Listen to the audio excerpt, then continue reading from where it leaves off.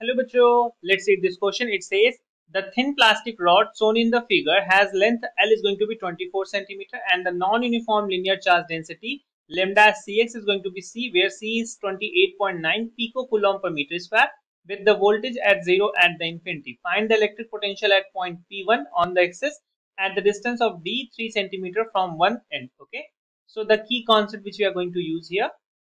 यहाँ पे जो हम की कॉन्सेप्ट यूज़ करने जा रहे हैं that is the electric potential okay electric potential so हम सपोज़ कर लेते हैं कि जो हमारी गिवन रॉड है, इसके, इस पर एक छोटा सा पार्ट हमने सपोज़ कर लिया, जिसका चार्ज है D Q right so potential at potential at P one due to dq is going to be what dv dv is going to be k dq upon में the distance from here so हमने suppose कर लिया कि ये जो distance है यहाँ से x है तो ये distance हो जाएगी क्या x plus d हो जाएगी right now because the linear charge density lambda is given right so we can we can write what lambda is uh, going to be dq upon the overall length right or we can put instead of uh, dq we can put lambda dx right so dv क्या हो जाएगा k lambda dx upon में x plus d right अभी आप क्या लिख सकते हो dv is going to be k lambda की वैल्यू है cx dx upon में x plus d तो आपको dv की वैल्यू मिल जाएगी dv we get as what this becomes ck and this is x dx upon में x plus d right this is the potential just due to dq component now potential due to hole is going to be what हम इसे integrate कर देंगे तो dv हो जाएगा is going to be ck और ये इंटीग्रेशन हो जाएगा ज़ीरो टू l के लिए और ये हो जाएगा x dx अपॉन में x प्लस d. ओके अब आपको क्या करना है? इसे इंटीग्रेट करना है तो इंटीग्रेट कैसे करोगे हम आ, इसे लिख देना है dv अब ये हो जाएगा टोटल v और ये हो जाएगा ck और ये हो गया ज़ीरो टू एल। आप x को लिख सकते हो x plus D minus of D and this is divide by x plus D of D right अब आप इसे दो पार्ट में ब्रेक कर लो तो बी हो जाएगा आपका C K and this is like what x plus D divide by x plus D तो आपको यहाँ पे ये वैल्यू मिल जाएगी केवल zero to L D X and minus आपको ये मिल जाएगा d अपॉन में x plus D integrate zero to L D X right ये दो पार्ट आपको यहाँ पे मिल जाएँगे। अब आप इसे फर्दर सॉल्व करोगे तो आपको ये वैल्यू मिलेगी voltage is going to be C K and this is the integration of D X zero to L minus of D आप आउटसाइड लिख सकते हो और ये zero to L one upon में X plus D of D X right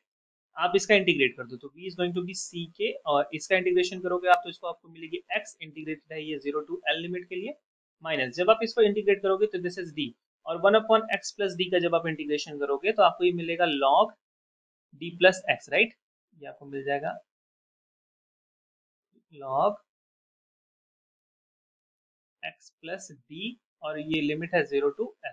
okay? तो ये आपको v मिल गया v is going to be C K और ये होगी, आपकी वैल्यू हो गई L minus zero minus of D. यहाँ से आपको मिल गई log L plus D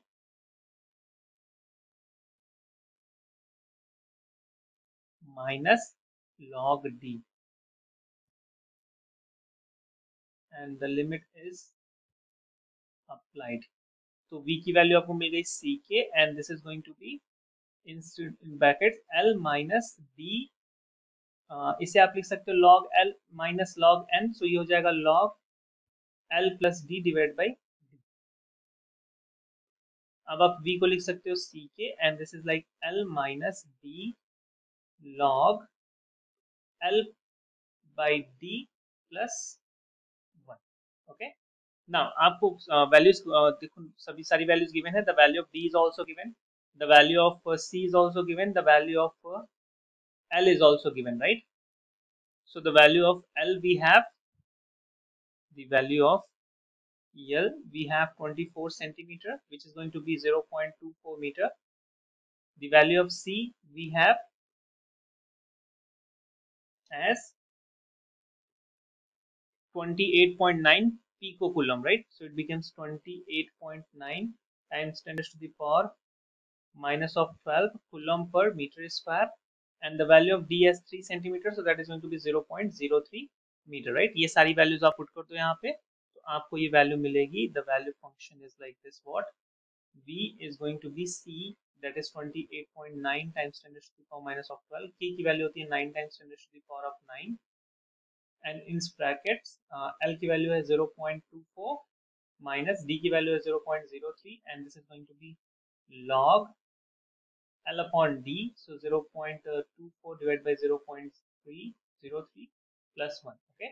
जब आप इसे कंप्लीटली सॉल्व करोगे तो आपको वोल्टेज की वैल्यू मिल जाएगी 0.001863 volt. Okay. And this is the potential due to this